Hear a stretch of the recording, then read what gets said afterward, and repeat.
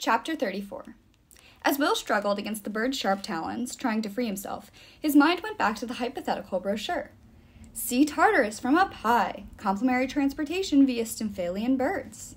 He tried to twist around to catch a glimpse of Gorgyra's white canoe, desperate to know if Nico was okay, but the birds dipped and guided him farther away. Below him, the landscape was covered in zits, craggy hills, and shadows of creatures Will couldn't identify. Okay, this has been fun, he called out. Love the view. Can you let me down now? He swung an arm out and smacked one of the pigeons, which caused it to let go. The flock began to veer slightly to the right. Without any hesitation, he whacked another bird, and as he predicted, the flock moved even more sharply to the right. He was steering them. Will imagined himself as the captain of the sky as he hit pigeons off his right shoulder until he guided them back in the direction he'd come from. But more Stymphalian birds flew in, grabbing at his t shirt, and he heard a tearing sound. Oh no, he said. Please don't. A few hundred yards short of his goal, he could see his backpack sitting near a large rock. Will's shirt completely Will's shirt ripped completely off. The birds flew away with its remains without missing a wing beat. Will plummeted, the crowd rushing up to meet him. Love how much falling I'm doing on this quest, Will thought. Maybe I should teach a class at Camp Half Blood on how to fall. Oh, how he missed Camp Half Blood. Thankfully, his fall was broken by a large monster zit. He bounced off it and hit another enormous pod like he was inside a pinball machine. Yet his relief over not plunging to his death was quickly negated by what tore itself out of the first pimple he'd crashed into. Will saw a human hand claw through the membrane, followed by the snarling head of a dog, a cynocephalus, this terrible dog headed man who'd allied with, with Octavian and Nero. And now here was one with their eyes locked on Will, sharp fangs snapping. If he didn't get out of here now, he was certain to become demigod coleslaw. Yet, as he turned and scrambled away, he saw more zits burst, saw more dog-headed monstrosities rip their way through rip their way into Tartarus, saw a cloud of Stymphalian birds heading his way. He was but one demigod in a soup of monsters. Will heard the cynocephali snarl, and he dove for a nearby boulder, flattening himself against the craggy ground. His heart beat so hard he was certain the monsters would be able to locate him from all the thumping. He'd made a terrible mistake. He never should have left Nico's side. Never! How had he let this place get to him so quickly? He'd only been here a few minutes before it had put thoughts in his head, just like Percy, Annabeth, and Nico had warned. And now he was in the midst of a disaster. Something had found Nico, and Will couldn't do anything about it because dog headed monstrosities were regenerating all around him. More of the pods popped. More creatures slithered to the ground. More cynocephali growled close by. Will crawled forward and peeked around the edge of the stone he was hiding behind. A group of slimy, goo covered cynocephali sniffed the ground about 20 or 30 yards away. One of them pawed at a regeneration bubble until it ripped open, and another member of the pack were spat out. They were growing in numbers. Will had no weapon and no hope. He sat up and pressed his back against the stone, then covered his mouth with his hand to mask his breathing. With his other hand, he grabbed Nico's skull ring on its chain. He clutched it tightly. I'm sorry, Nico, he thought. I'm sorry I let you down. There was a bright flash overhead, followed by a vicious cry. Will waited for the cynocephali to find him, desperately hoping he would think of a plan before then. While dodging the spirit's attack, Nico hit the ground hard, knocking the breath out of him. But he couldn't stop moving. He rolled to his feet and unsheathed his Stygian iron sword, but how was it supposed to help? Only Imperial gold could destroy manias. And Amphithemis wasn't even solid. In all his years, Nico had never heard of a mania in the form of a soul. What was he supposed to do? Amphithemis let loose a guttural growl. Give me the child! You cannot keep him from me! He swiped at Nico, who ducked and brought his sword down on the centaur's arm, and unfortunately, his weapon passed straight through the appendage, as expected. Nico swore. Stay still, Amphithemis ordered. Nico decided to do just that. Why am I trying to fight him? he thought. He can't even touch me. He lowered his sword until the tip of it touched the ground. I don't have the child, said Nico. There isn't one anymore, Amphithemis. Just think for a moment. You're in Tartarus. Only one type of person ends up here. The centaur actually appeared to consider this for a few seconds before he shook his head angrily. I won't be fooled by your tricks, demigod, he spat. If the dead are the only ones here, then why are you standing before me, using your magic so I cannot strike you? Damn, said Nico. I hadn't thought of that. Amphithemis raised his arm to bring it down on Nico's head. The demigod didn't even wince. He knew it was going to happen. Amphithemis's hand would, was going to pass through him, and they'd be back at square one. so he didn't brace himself before Amphithemis raked his nails over Nico's face. Nico cried out and stumbled back. His hand flew to his cheek, which was wet with blood. Amphithemis looked just as shocked as Nico, but he was soon closed his mouth and squinted at him. Who are you? he asked. Do you know where Dionysus is? Nico slowly stuck his hand in his jeans pocket and ran his bloody fingers over the coin's embossing. I don't know where you are, Will, he thought, but I'm going to find you. Amphithemis hunched over and held up his hands in an offensive posture. Don't move, he said. I don't know who you are, but I know you have the child. The centaur launched himself toward Nico, and Nico turned and started sprinting. He gripped the coin tightly as he headed for the ridge in the distance. Amphithemis screamed as he chased him, and Nico knew he wouldn't be able to outrun a centaur. It was only a matter of time before he got caught. He had no plan. He had a sword that was useless. Will was missing, and they weren't any closer to finding Bob or Nix. On the ridge, there was a bright flash, and Nico saw numerous dark shapes converging on a single point. Will, he breathed. It had to be him. He only managed a few more steps before Amphithemis tackled him from behind. Will heard a splatter from behind the rock. He nearly jumped in fright. Next, there was a sickening tearing sound, then a pained cry. Had the Cynocephali found another victim first? Were they eating each other? He fleetingly wondered if this had brought, bought him some time, and he suddenly knew he couldn't just sit there and wait for them to attack first. He was a demigod, the son of Apollo, and his boyfriend needed him now. There was another grouping of stones a few yards away, so Will pressed his hands and feet into the ground and sprang forward, racing to the rocks and diving behind them. He was overjoyed to see his backpack sitting there, and he quickly pulled out his hoodie and put it on. Then he hoisted the pack onto his shoulders. Another bright flash illuminated his surroundings, so Will poked his head above the rock. He could not believe what he saw. An entire pack of Cynocephali were fighting a large, translucent, glowing cat. The feline hissed and growled at one of the dog headed monsters, then swiped an enormous paw at it, drawing blood.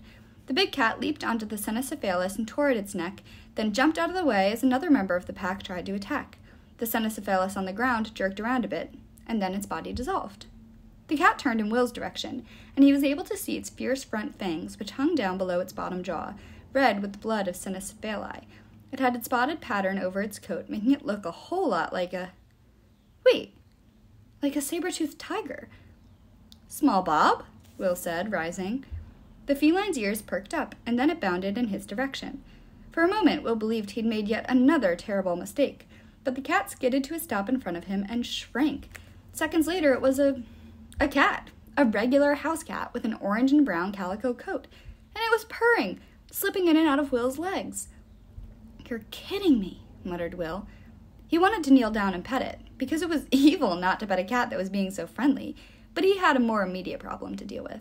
The other Cynocephali were closing in. The lead one lifted its top lip in a growl as it advanced. Will quickly countered, and once he got to twelve, he realized that he had better use for his time. Small Bob, he said, if you can understand me, I need you to do that saber-toothed tiger thing again. The cat purred and rubbed his head on Will's leg. Right now would be great. Small Bob meowed. Any second now. The Cynocephali circled Will, and the leader lowered its head, preparing to pounce. Please don't scratch me, said Will as he bent down and picked up Small Bob. He pressed the cat to his chest with his hand covering Small Bob's other ear, and with his free hand he put his fingers to his lips. The lead Cynocephalus leaped at him, and Will let loose an ear splitting whistle. The Cynocephalus dropped in mid jump and cried out in pain, while the flock of Stymphalian birds fell from the air. The rest of the dog headed men tumbled all over themselves, and one another, giving Will what he needed a temporary advantage. He let go of Small Bob, who jumped out of Will's arms. Before the cat hit the ground, there was a flash, and Will could see the skeletal outline of Small Bob as he grew, his legs and paws and body swelling and elongating until a full fledged saber toothed tiger hit the packed earth. Small Bob wasted no time. He decimated as many Cynocephali as he could while they were incapacitated, and Will stood there in shock, watching the spirit like cat lay waste to nearly a full pack of dog headed monsters. Blood spilled on the ground, and the dead Cynocephali disappeared, sent back to regenerate here, in Tartarus again. Small Bob had killed nearly all the creatures when a new sound rang from down the hill. A voice. Get back here! it snarled. And there, darting in between some intact regeneration pods, was Nico and his glowing purple sword. Nico! Will called out, his heart leaping in both excitement and terror. He briefly glanced back to small Bob, who was fighting three Cynocephali at once. You seem to be doing just fine here, Will told the cat. I'm gonna go save my boyfriend. Small Bob roared. Will thought it sounded like a roar of encouragement. Will sprinted down the hill, nearly colliding with Nico moments later. To his dismay, Nico's face was red, and there were three slash marks on his left cheek. Will wanted to sweep his boyfriend up in his arms, shower him with kisses and hugs and healing, but there was no time for that. The creature he'd seen lifting Nico's boat earlier was now at the bottom of the hill, and rapidly approaching. Where is the child? it demanded. Where is he? Nico grasped Will's hand the second he was within reach, but he didn't stop moving. He yanked Will up the incline, practically pulling the son of Apollo's arm out of its socket. Ow! Will cried. Nico, what's going on? What child is he talking about? Not enough time, Nico screamed. Go! Will found, followed Nico up the hill, where, unfortunately, they were met with another chaotic scene. Small Bob had indeed taken out two more Cynocephali, but now he was limping. His front left leg was injured. Even worse, though, was the revolting sound of more regeneration pods tearing open, and their contents spilling out. The demigod stumbled to a stop. Will, what is happening? Nico asked, panting. At the sound of Nico's voice, Small Bob turned his head. Without any hesitation, he turned back into a calico cat and bounded over to Nico, limping the whole time. He leaped onto Nico's leg and climbed it. The cat settled on Nico's shoulders. I'm sorry, is this? said Nico. Nico, meet Small Bob, said Will. Small Bob, you seem to already know who this is. Stop! Will turned to see an out of breath satyr trudging up to them. At least he thought it was a satyr. But why were its horns so big? Don't move, panted the creature. I need to find the child. Will looked from this newcomer to the one remaining Cynocephalus who examined them all, who examined them all and clearly realized that he was outnumbered. He slunk away to a freshly burst pod and lay down to wait for his packmates to revive. I am so lost, said Will. What child? Will, need Amphithemis, said Nico. He's looking for Dionysus. Yes, said Amphithemis, standing upright. Yes, I'm looking for the child. Have you seen him? Just for the record, said Will. That didn't help me understand this any better. Nico, now cradling small Bob, leaned closer and whispered a single word in his ear. Mania. Will's eyes opened wide, and he cautiously watched Amphithemis pace back and forth. Zeus will be so angry with me, the newcomer said. So angry, I cannot disappoint him. Zeus? Will glanced at Nico. I'm still confused. Not now, Nico said. What are we supposed to do about them? Nico jerked his head to the right, and Will's heart sank when he saw that five regenerated Cynocephali had, had appeared, they would soon be ready to mount an attack, and Will still had no idea what to do about the odd standoff they were in. Nico had a sword at least, but Small Bob was licking his injured paw. Would the cat even be able to fight again? And where were all those awful pigeons? Will looked back at the pacing satyr creature, and once the idea came to him, he just acted. They have him, said Will, pointing to the Cynocephali. They took the child. Nico gripped Will's hand. What are you doing? Will ignored him. Those dog headed creatures, he insisted, they stole Dionysus. Amphithemis seemed to raise himself higher. The child, he said softly, and then his face transformed into a portrait of fury. His eyes flashed red, and he said, They have the child, don't they? Will nodded. You have to save him. Will, don't, Nico began, but the son of Apollo lunged at Amphithemis. Go, he bellowed. What are you waiting for? With a terrible shriek, the satyr creature launched himself at the waiting Cynocephali, snarling and biting and slashing with his nails. Will watched as Amphithemis chased the retreating monsters, a swarm of murder pigeons above his head, shouting about a child and Zeus. Soon, they were all just a distant echo. Will slumped against Nico, resting his head on his boyfriend's shoulder. Nico, I'm sorry, he said, wasting no time in addressing his regret. I shouldn't have left you. Nico pulled away. Why did you do that? Leave you? Because you were sleeping, and I thought, no, I mean just now. Why did you send Amphithemis after them? He scratched Small Bob behind the ear. It's not his fault. He's the way he is. What are you talking about? I just saved us.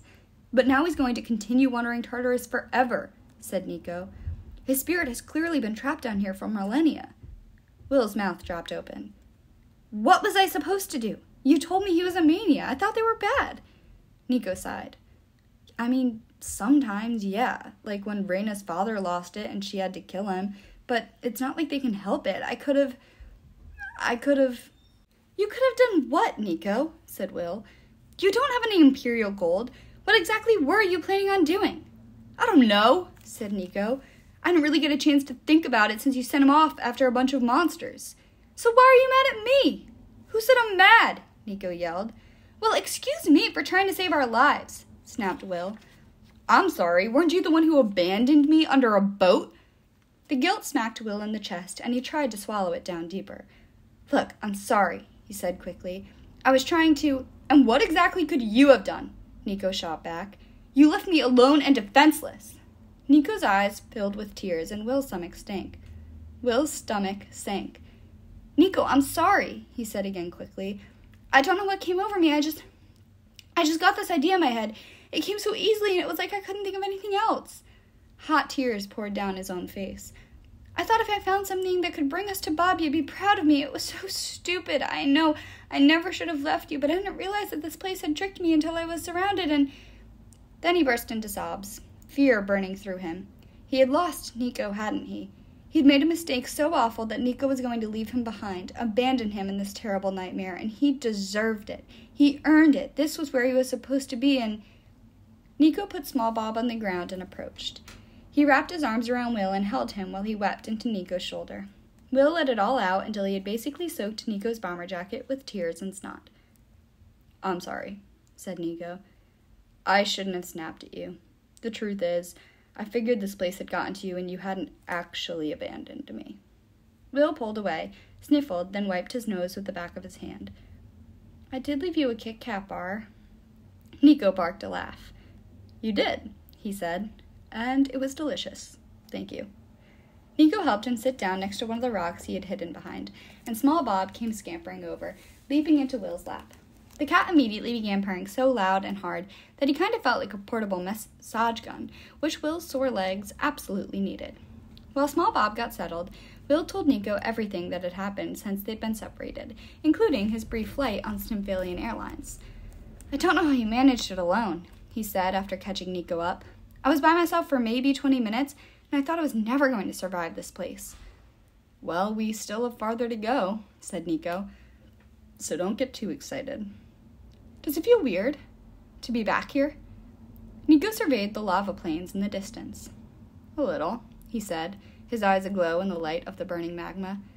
But also, I don't know, familiar? I spent a lot of time here, so I'm not sure there's much that can surprise me anymore. He chuckled. Well, I guess I can't say that. I've never seen a mania spirit before. I'm sorry I acted without thinking it all the way through, said Will. You were right. Amphithemis doesn't deserve a fate like that. His soul should be put to rest. Well, I don't even know how I would do it, said Nico. And at least we're safe, for the moment. He looked around suspiciously at the nearest regeneration pods. Will sat forward and rummaged through his knapsack until he grabbed hold of his medkit. After pulling it out, he situated himself so that he was facing Nico's left side, while Small Bob hopped into Nico's lap. Let me get those scratches on your cheek, Will said, opening some antiseptic pads to disinfect his hands. How'd you get them? Ugh, Nico groaned. Amphithemis. Will paused. But I thought you said he was a spirit. He was, but he became solid when he was angry at me, hence these. Will frowned. The boundaries between life and death, solid and incorporeal, seemed so blurry here. Tartarus and the underworld were not as black and white as he'd thought. He told Nico to hold still, then delicately dabbed at the cuts on his face. Nico jerked a bit at first, but mostly cooperated while Will cleaned the gashes. Will gave Nico a sip of nectar, applied ointment to reduce scarring, and held gauze against the area, humming while he did so. It was another melody his mother had composed long, long before Will had been born, but it was a comforting one. As he did so, Nico pressed his cheek into Will's hand and closed his eyes. They remained like that for a while, the only sounds, small Bob's rhythmic purring and Will's haunting healing melody. Will loved how at peace Nico looked, especially since it was so rare that he ever did. He was always scowling or fretting about something wrong in the world around him. But right here, right now, Nico was in the moment, and it gave Will a sense of accomplishment. He also hoped Nico believed that Will would never actually abandon him. Guilt still ate at Will, even as he removed the gauze pad and admired his work. The cuts had mostly healed, but Nico could end up with some light scarring on his cheek. Later, he would ask Nico if he wanted them erased, but Will suspected Nico was going to be okay with them. They kind of added a bit to, of mystique to his face. And it was a nice face, too. Nico's eyes fluttered open, and Will gazed deep into them. I'm sorry, he whispered. Nico shook his head. No, no, we're not doing that again, he said. I know you didn't mean to leave, and I know you were still looking out for me, or else you wouldn't have left that Kit Kat behind. Will leaned against the rock and wiped sweat from his face, a wave of exhaustion pouring over his body. Okay, he said. Would you mind if I rested for a moment, just to recuperate a little before we go? Nico nodded, then looped his arm around Will's shoulder, pulling him in so that Will's head came to a rest on Nico's sternum. Small Bob, still curled up in Nico's lap, remained alert. This was hardly a safe place for them to stop, Will knew, and they had to stay vigilant. But for now, he let Nico and Small Bob keep watch as Will drifted off to sleep to the calming rise and fall of Nico's breathing.